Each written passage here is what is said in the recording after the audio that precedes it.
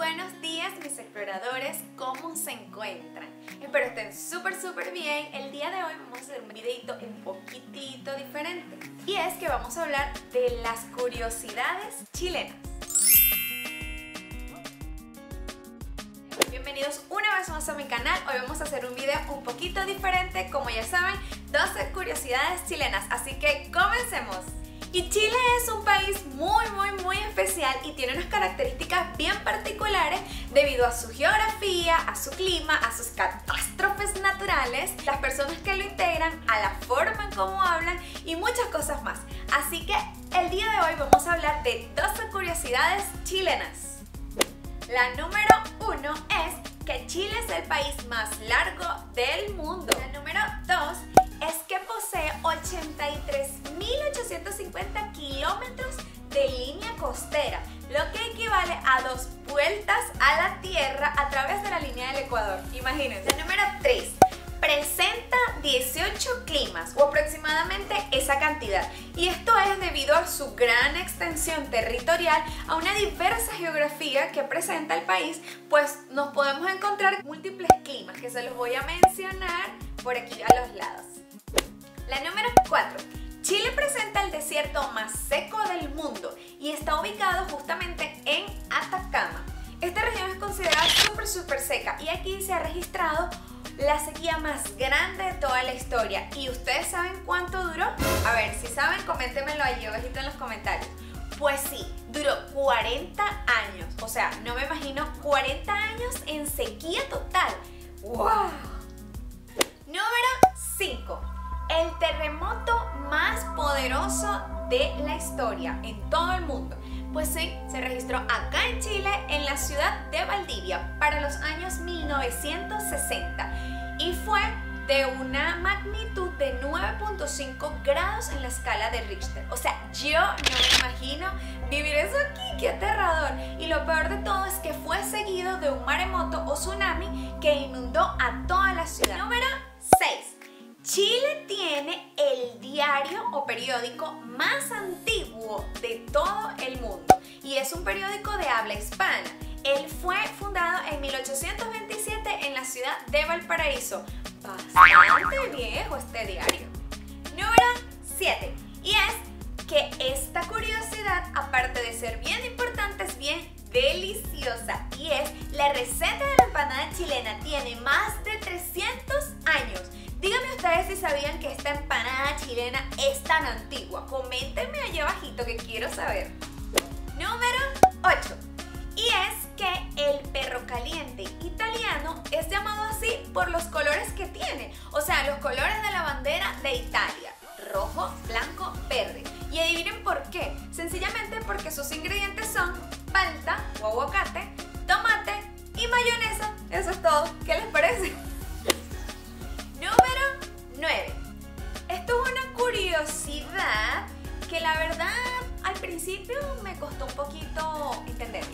Y es que la Alameda no existe.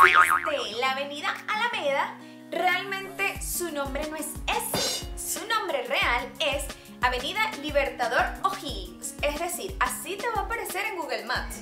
Por eso era que cuando a mí me aparecía ese nombre en Google Maps, yo decía, pero es que se refiere a la Alameda, o sea, no entiendo. Pues la verdad no sé, esto es algo misterioso. Esto es una avenida bastante importante en la ciudad de Santiago que prácticamente lleva 8 kilómetros de recorrido, pero no existe, en, o sea, no está decretada como Alameda, se llama Libertador O'Higgins. ¿Qué piensan ustedes de esto? Yo todavía no entiendo mucho por qué, así que si ustedes saben, coméntenme allá abajito por qué este, estos dos nombres se usan. Número 10.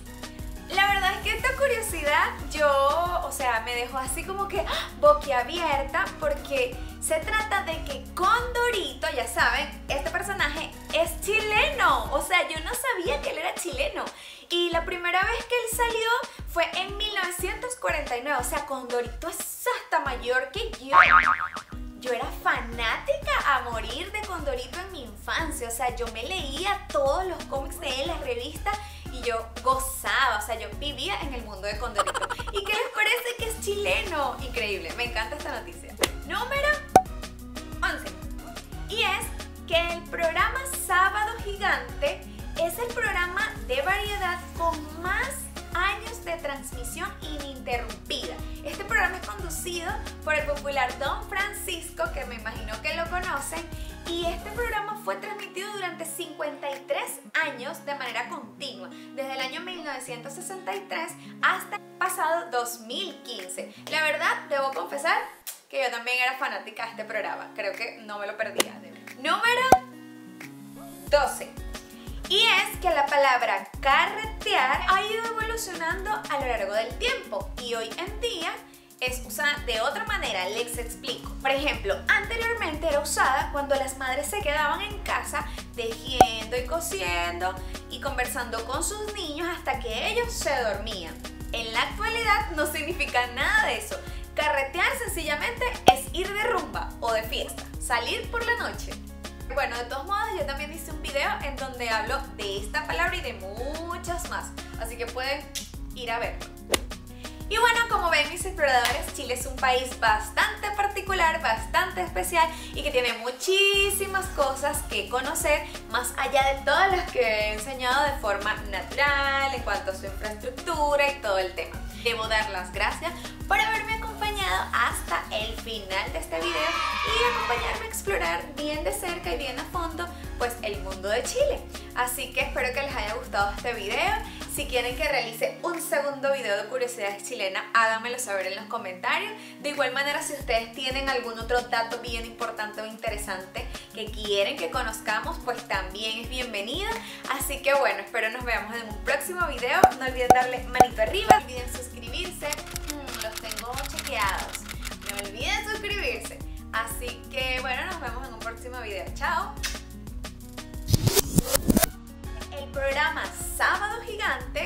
Conducido por